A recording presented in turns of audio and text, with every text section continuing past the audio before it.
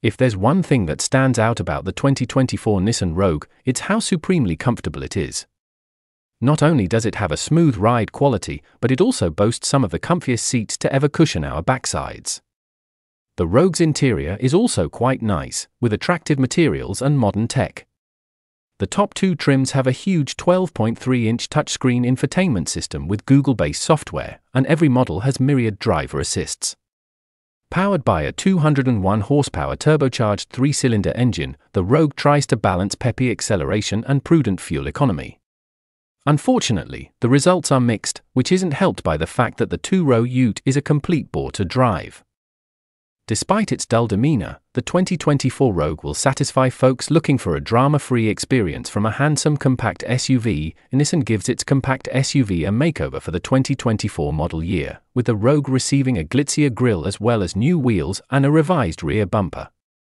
Inside, there are a handful of minor updates, but the biggest addition is a 12.3 inch touchscreen, not only does it replace the old 9.0 inch unit on the SL and Platinum models, but it marks the introduction of a Google based infotainment system and associated apps.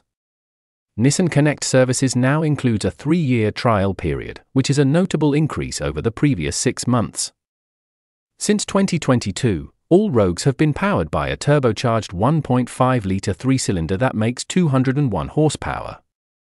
The inline 3 is mated to a continuously variable automatic transmission CVT and front-wheel drive. All-wheel drive is optional. During our first test drive of the three-cylinder Rogue, we noted that it felt perkier than the previous versions that were powered by a non-turbo 2.5-liter four-cylinder. But at our test track, its acceleration wasn't much quicker than the 2021 we tested with the 2.5-liter four-cylinder the turbocharged three-cylinder managed to coax a 2024 Rogue Platinum to 60 miles per hour in 8.0 seconds, only a 0.2 second improvement over the 2021 model.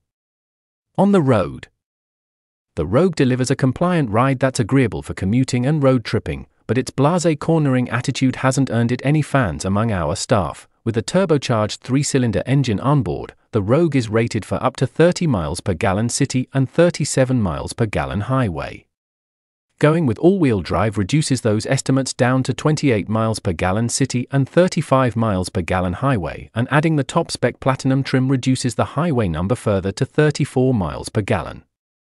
The Rogue's interior borrows styling cues from both the Altima family sedan and the Sentra compact sedan.